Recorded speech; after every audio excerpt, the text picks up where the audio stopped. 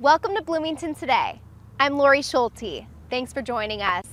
First, we bring you the buzz for the week of April 5th to the 11th, and we're starting off on Portland Avenue, a roadway that could see some changes. A multimodal corridor study is being carried out to consider converting Portland Avenue into a safer, more bike and pedestrian friendly roadway.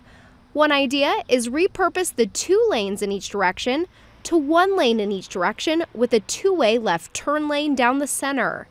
There would also be bike lanes, which would require removing on-street parking. Data was collected in February and an open house was held in March. Now, city staff is developing a couple different plans to present to the public and council. The two things that are really driving this study is the multimodal needs on the corridor and the potential for safety improvements, especially at the signalized intersections of 90th Street and 86th Street.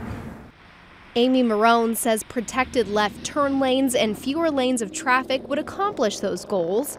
Once a few options are developed, a second open house will take place in May, and plans will hopefully be submitted and approved by council this summer. The project will coincide with an overlay project already scheduled for 2018 by Hennepin County. A changing landscape doesn't end here on Portland. Parks like this one here will see improvements following the approval of site plans for more than a dozen city parks. Here's a map of the parks on the list for upgrades. Many of these playgrounds were built in the early 90s as part of a bond referendum. The 25 year old play areas are in need of a renovation, according to Parks and Rec staff. 14 playgrounds and several courts are set to be upgraded, 16 projects total. All of the projects are planned for 2017.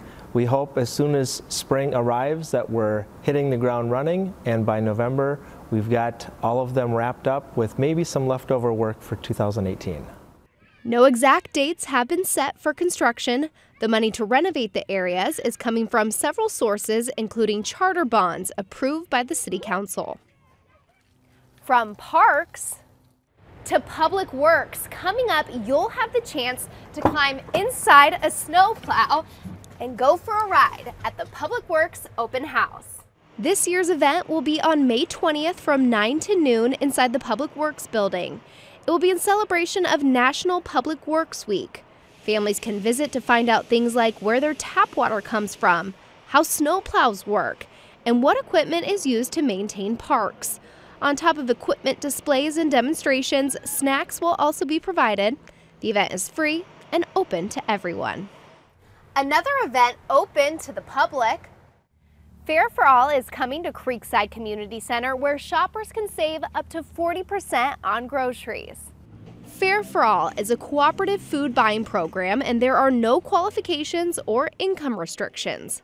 Shoppers will find packages of fresh fruit and veggies, as well as frozen meat items. April's Hot Buy is a two pound package of cooked roast beef for $5.50. That's limited to two per household. Fare for All is April 19th and runs from 11 a.m. to 1. That is the buzz on Bloomington today for the week of April 5th to the 11th. If you would like to watch other stories from the show, go to this week's playlist. There you'll find this week's edition of the Verbrugge View, where City Manager Jamie Verbrugge learns what tree trimming is all about. There's also a video sharing the story behind a PSA created by Olson Middle School students and the city. Check those out and thanks for watching.